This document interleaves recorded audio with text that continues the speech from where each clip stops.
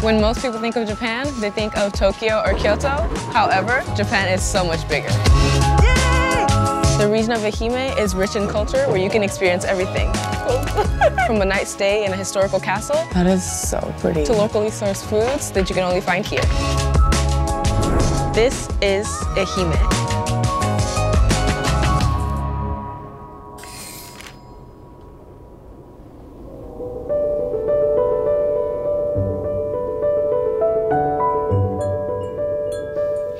I stayed the night in this amazing hotel room, which is part of Nipponia Hotel. They renovate old historical buildings into new hotel rooms. I'm about to meet Mr. Yoshida to tell me more about the project and how and why they got all of this started. Hi, I'm Katie.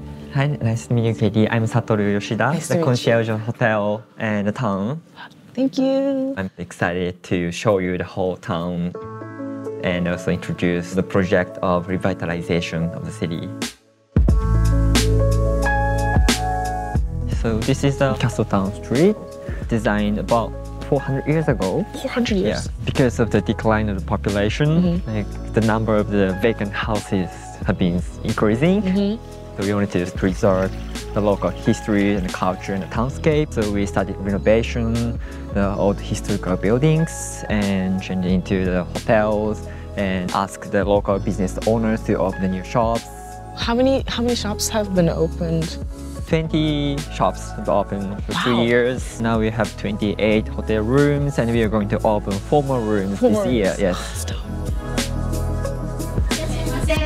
Wow. All of these look so good. So which one would you say is a good choice? Personally, I recommend this one. This one? Yep, Beni Madonna, because here is really famous, good quality local mandarin orange. I am gonna go for that one. Okay, I will take this one. Okay, cool, cool, cool. Thank you. I was excited about this. I think to this one. The process of our revitalization is quite sustainable because you know we preserve the local townscapes and since we open a new hotel we can contribute to the local community and local economy as well so because of that our revitalization project has been nominated to the uh, green destination top 100 sustainable destination in the world That's World. actually amazing. Yeah. Like, what kind of changes have you seen in the town? this uh, warehouse for um, Japanese wax is Oh, this is the the one you stayed last night just two and a half years ago. Wax is a like main industry in Meiji era. So in order to inherit old city's history and uh, culture, we definitely have to preserve this architecture. What's the biggest thing that you've worked on so far? Um, from now, I will take you to the old castle and show you that.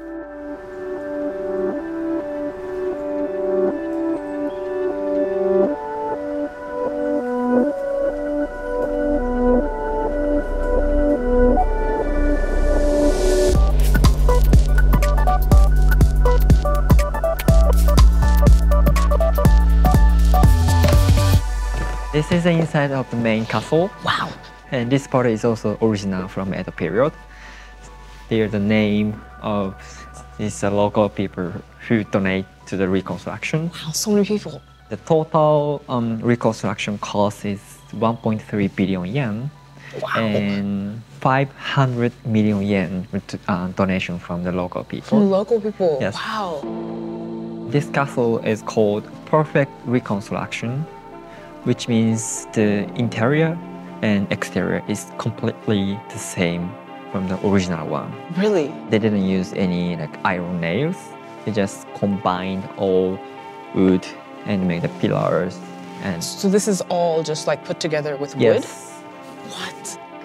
as a kind of symbolic um, project of the revitalization, we do the um, the castle stay here, so the guests can sleep here, like ancient lords did.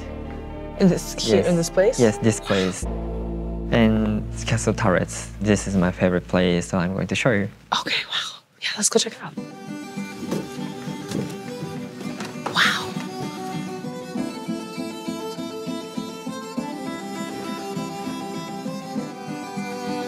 you know, this is uh, original one. So uh, the ancient lord also stood here and looked down at his castle town. That is so pretty, like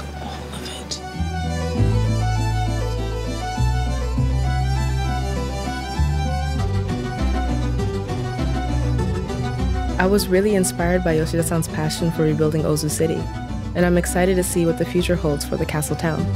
Next, I'm heading to the mountains to meet with the restaurant owner whose business depends on the river it was built upon.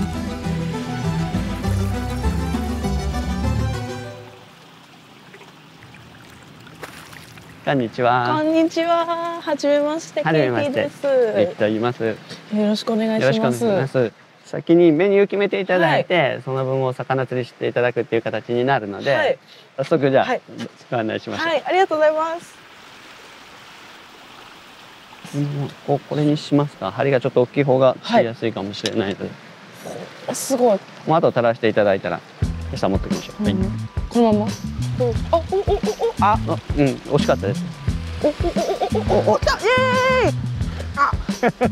惜しかったです。惜しかったです。え、どれぐらいそのこのレストランを経営されてるんですか？そうですね。最初ここで魚を買い出したのと一緒にもうここの食事もやり始めたので、もうここで40年ちょっとになると思う。Dude, these little ones are smart. ここで釣って食べたりするんです僕らはもう網ですくいます。あ、そう で、なんでおじいちゃんがこのレストランを建てたんですか？まあ、ここを開くことをきっかけにいろんな人が訪ねてもらってちょっとここが賑やかにこの川辺っていうと地域が賑やかになったらいいなっていうことで始めたみたいです。おおはいはいはいはい。すごい。これ揺れてる。上手です上手です。どうです。これは、あのどれですか。これニジマスです。ニジマスいやいやいやいい大きさのが釣れましたすごい。もう一回です。そうですね。そしたらお料理しますのではい。お部屋の方にご案内します。ありがとうございます。焼いていきます僕らはまあここで当たり前のようにこうやって住んでるんですけど、まあ、そこに訪ねてきていただいていろんな川辺のいいとこだったりお魚だったりっていうのを知っていただくことでうちのお店だけじゃなくてこの地域全体が盛り上がって僕らが思っていない川辺の地区のっていうのもまた出てくるんじゃないかな発見できるんじゃないかなと思ってます。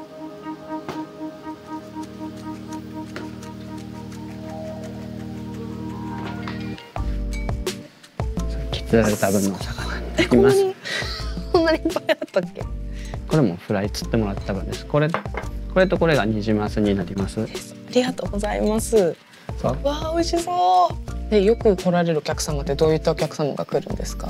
やっぱりお魚を釣って食べるっていうのが楽しいっていうことでお子様連れが多いのとあとまあ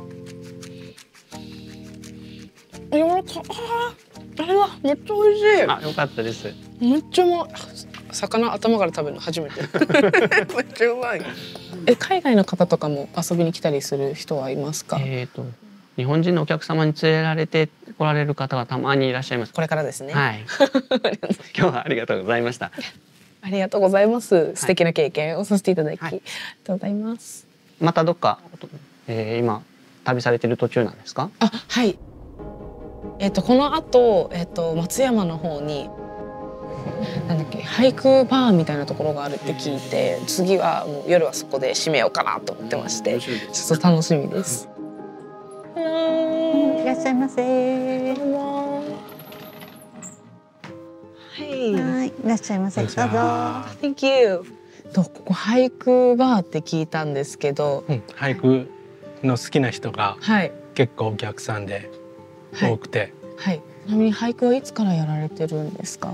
店は2000年からなので、20年以上になるんですけど、うん、途中で彼が趣味ではい俳句を始めて、あとはえっ、と観光ではい。松山にいらして、あじゃあ俳句み欲しいな、お土産代わりにみたいな。の方でももちろんえその時って英語日本語の対応ってどんな感じなんですか？あとは最近 Google のあの翻訳機とかでそれでこう話したらこう書いてくれる役立つ役機能が見えるでしょ？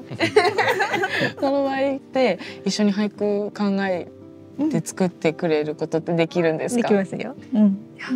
今回あの愛媛初めて来たのでちょっと愛媛でいろいろたくさん楽しい経験もさせていただいたのでそれについて書きたいんですけど愛媛っていうお題でもう大丈夫ですか？愛媛。はい。愛媛で、はい。愛媛で。はい、うん。じゃあそれで書かせてください、はありがとうございます。じゃ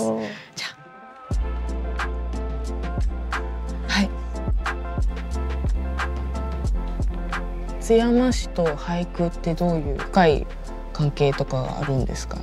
一番有名な俳人は正岡子規っていう彼が松山出身書きましたうん。あ、私が言うとか。はいどの坂も城へと続く春の雲。とけこです。と結構可愛い松山って、はいあのどこへ行ってもお城が見えるんですよ。そういうことなんですね。で、お城ちょっと高い山のところにあって、はい。あのなんかいつもお城に守られてるなっていう気持ちがあって、わあ素敵。うん。So rebuild from the past. Tradition and culture last leading a new path. おお素晴らしい。